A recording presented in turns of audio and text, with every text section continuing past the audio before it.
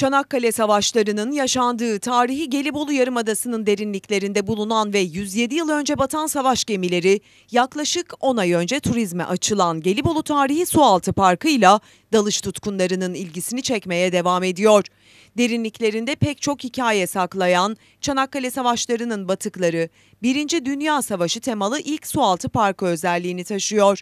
107 yıl önce Settülbahir Kalesi açıklarında batırılan İngiliz Kraliyet Donanması'na ait HMS Majesty'in de aralarında bulunduğu 14 batık geminin gizemini dalış meraklıları keşfediyor.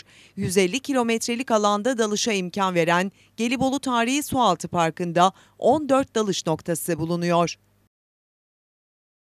Çanakkale Savaşları Gelibolu Tarihi Alan Başkanı İsmail Kaşdemir, tüm dalış tutkunlarına açılan Gelibolu Tarihi Sualtı Parkı'na davet etti. Alan Başkanı İsmail Kaşdemir, daha önce dalış gerçekleştirdiği Majestik Batığı, Helles Barçları, Tuzla Ağı ve Kaptan Franco batıklarının ardından Landi ve HMS Louis batıklarına dalış gerçekleştirdi.